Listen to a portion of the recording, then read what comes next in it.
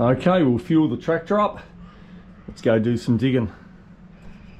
Okay, we've got our last uh, 300 kilos of pink eyes to go in. Um, it's been a bit of a drag this year with all the rain and stuff.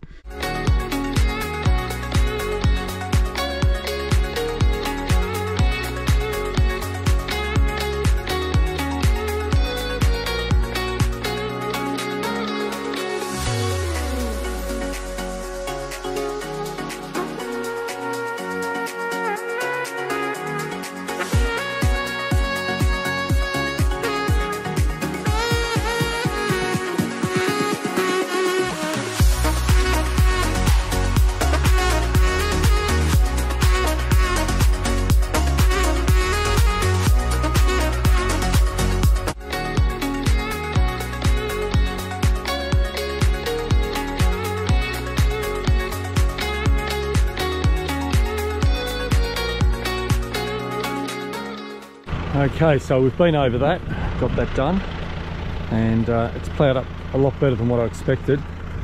So what we'll do tomorrow now is just come back over, hopefully the clods dry out a bit, and uh, we'll run over it again. But you can see down here, we've had a fair bit of erosion just around the edge uh, with all the rain that we had. Of course, it was a substantial amount of rain, so I guess to get away with this much is not too bad. So we'll head off home, we'll pack up for the morning, come back over tomorrow and see if we can break it up just a tad better. We're going to have to move these cows that are behind me. We're going to move them into another strip grazing area right here. So let's do that. We'll give them a bit of food and uh, get them moved, eh?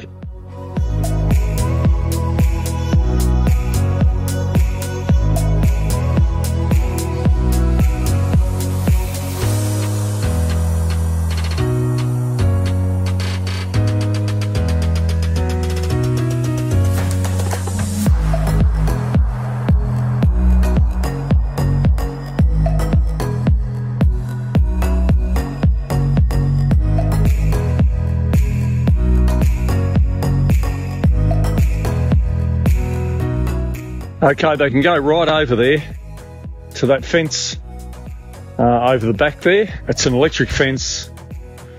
I doubt very much that they'll be getting out of here. So they can go over and have a graze for a couple of hours and, uh, and away they go.